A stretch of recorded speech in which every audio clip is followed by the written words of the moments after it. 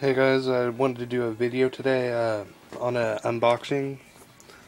Um, I couldn't really do an unboxing on camera because I'm using my phone. But uh, knife I used to unbox was Spyderco Grasshopper. Uh, this is an unboxing from a trade with Cal Knives. Uh, you guys should go check out his channel. He's a really cool guy.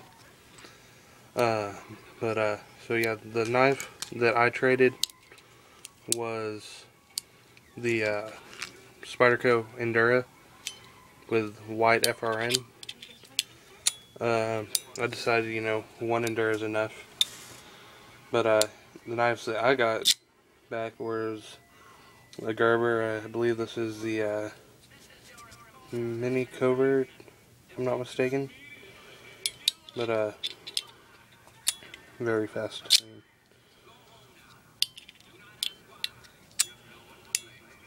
It's got a good lockup.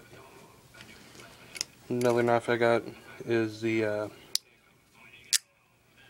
Mini Fast by. Uh, it's going to be my backup knife probably for a while. It's got a good little lowrider pocket clip. Two I was really looking forward to. Uh, this Kershaw. Forgot the name of it. Let's see. I have no clue what the name is on it, but uh, it's got the uh, 8CR13 MOV. Uh, a good liner, uh, blade centering, and it's close enough. One I was looking forward to the most was CRKT Shenanigan. This is my first CRKT knife. Already love it. It's fast, fits good in my hand. It's got a big pocket clip, pretty sturdy. A really fast flipper on it. But uh, yeah, but uh, so there you go.